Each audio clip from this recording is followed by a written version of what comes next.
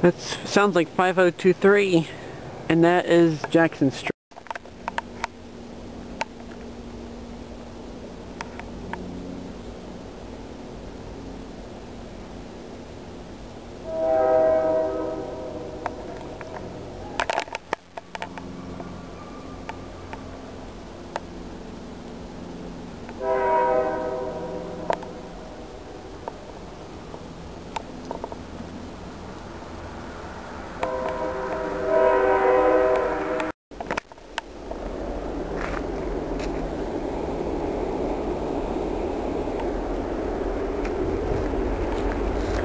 Here he comes.